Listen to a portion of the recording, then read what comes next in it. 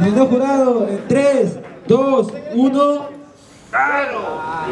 Ok, ganó Peruca.